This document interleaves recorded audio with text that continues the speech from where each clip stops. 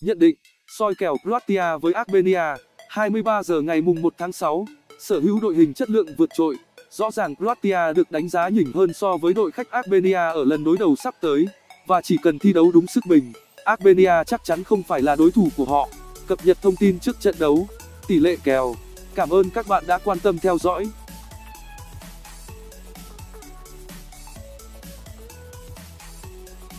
Để chuẩn bị cho vòng chung kết Euro sắp được khởi tranh, Croatia sẽ có trận đấu giao hữu với Armenia trên sân nhà, trước khi có cuộc tập dượt cuối cùng với đội tuyển Bỉ sau đây một tuần.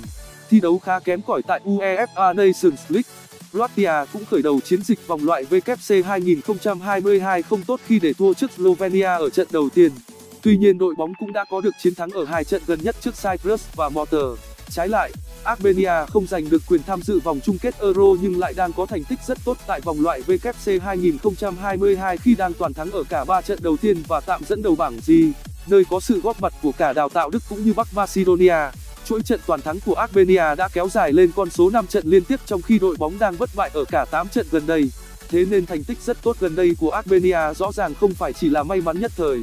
Soi tỷ lệ kèo châu Á, được chơi trên sân nhà và vẫn có thứ hạng cao hơn đối thủ nên Croatia được đánh giá là đội cửa trên cũng là điều dễ hiểu. Tuy nhiên kèo chấp lại ở mức rất cao khi lên đến âm 1,75. Có thể thấy Armenia đã có sự tiến bộ vượt bậc và lúc này đã không còn là đội bóng lót đường tại đấu trường châu lục. Trong khi đó chính Croatia cũng không có được phong độ tốt nhất, đồng thời cũng không nhất thiết phải bung sức cho một trận đấu giao hữu nên sẽ khó để đội chủ nhà có một chiến thắng cách biệt. Soi tỷ lệ kèo tài xỉu. Tuy kèo chấp rất cao nhưng kèo tài xỉu cũng chỉ ở mức là 3,0. Lý do là vì hàng thủ của Croatia vẫn đang được đánh giá khá cao. Tuy nhiên hàng thủ của Armenia cũng chơi không hề tệ. Cũng như Croatia không cần quá gắng sức nên có lẽ đây sẽ chỉ là trận đấu có ít bàn thắng được vì